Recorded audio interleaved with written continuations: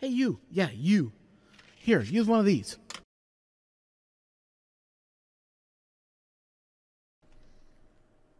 Hi, everybody. Welcome back to the Canadian Maker Project. My name is Ron. Don't forget also to subscribe to this channel.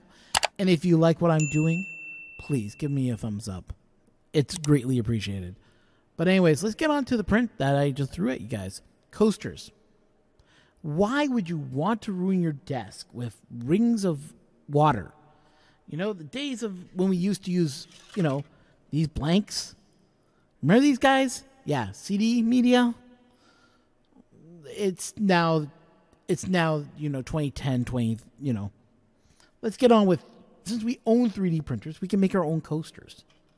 And you can use the infill design. This is called the infill coaster. So, why don't we go look at it and uh, we'll talk a little bit more. So, here, I got this all loaded up right now, so we're just going to go to Cura. There she is. Okay, as you can see, this is a blank right now. And to make this coaster, you're going to have to tweak a few things in, in Cura. And don't worry if it goes red or orange or what color it is. I can't remember. Just trust me on this. So to make the coaster, you're going to want to set your parameters a little bit odd. So I'm going to go to this at three millimeters. Now, you notice it's gone red because I am going to change that top layer to zero. Now it's gone orange too. Because when it sees that, it means there's no layer that's going to go on top. So it doesn't know it. So it's going to print this infill, infill pattern. And that's what we want. So let's go to zip. Let's go see here. We're going to put it at 20. Crosses. There we go. Now you'll see that you don't see anything still. It just looks like a regular piece of plastic. Well, this is where it's going into your settings and going into layer view We'll show you what type of pattern you end up with. So that's the pattern right there. That is your pattern. That's a cross pattern. Let's go with a different one.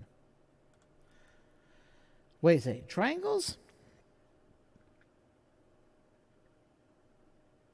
And if you don't like the pattern, you can always change it. Now, they do recommend to stay at 20, but I think you can get away with, if you wanted to, it at 10% should be more than enough.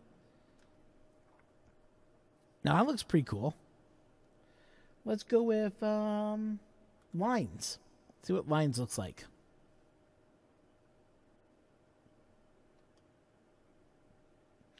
It's almost a grid pattern also. So you have many choices of what you want to use for your own pattern. So you guys can pick what you want and uh, how you want to do it.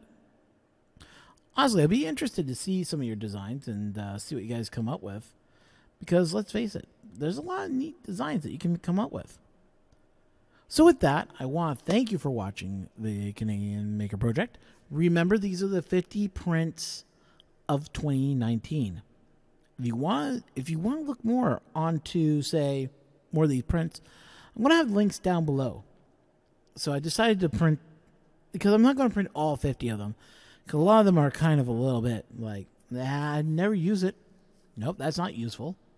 But you guys can have a look, make your own decisions. I like to see those prints, so post them up on social media Twitter, Facebook. You can post them to our Facebook channel. So don't be afraid to, you know, print something and show it off. Anyways, guys, I want to thank you so much for watching.